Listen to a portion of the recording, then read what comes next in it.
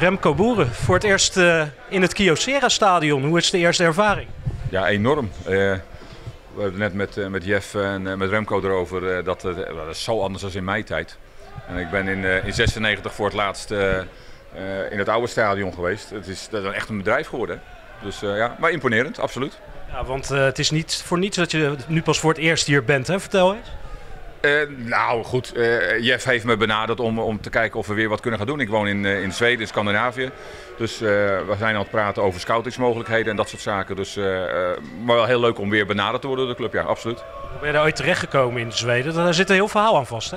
Ja, maar dat is, daar heb, ik denk dat we daar geen tijd voor hebben. simpelweg gezegd, ik heb de laatste twaalf jaar, van, wat is het, sinds 2000 in het Midden-Oosten gewoond en in Noord-Afrika. heel veel hectiek, heel veel drukte. En toen besloten om uh, met het nieuwe gezin, was inmiddels hertrouwd, om, uh, om ergens rustig te gaan wonen. En Zweden is uh, echt een ideaal land daarvoor. Ja. Wat maakt het zo ideaal? Rust, stabiel, weinig mensen. ik woon twee uur buiten Stockholm in the middle of nowhere in een natuurgebied met allerlei wilde dieren. Dus echt heerlijk.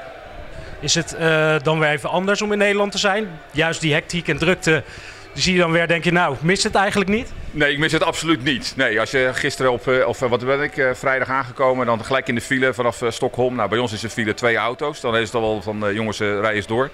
Dus dat is, dat is, nee, dat mis ik dus niet meer. Ik heb die tijd gehad. en ik heb nee, absoluut niet het, de drang om te zeggen, nou, dit, nee, ik kom terug. Nee. Maar om even terug te komen op de club ADO Den Haag onder FC Den Haag. Mooie herinneringen wel aan, uh, aan de tijd. We zien het bijvoorbeeld hier achter Martin Jol. Eigen foto van hier rechtsonder. Ja. Dat uh, onder andere het kampioenschap. Ja, nou ja, goed. Uh, dat is wel een van de dingen met ouder worden. je gaat wat meer terugdenken aan de dingen die zijn geweest. En vroeger stap je daar zo overheen. Ik moet zeggen, ik ben daar inderdaad wel trots op. natuurlijk recentelijk die, die documentaire Jager Jager gezien. heeft heel veel herinneringen weer teruggehaald. Uh, en, en, zeker nu even door de gangen lopen, uh, kom iedereen tegen, Lex Schoenmaker, uh, senior, junior, wat andere mensen. net met Fons aan praten. ja, echt super om weer terug te zijn, absoluut. Is het zo dat als je al die mensen weer ziet, dat je weer die herinneringen ook weer echt boven komen bij je?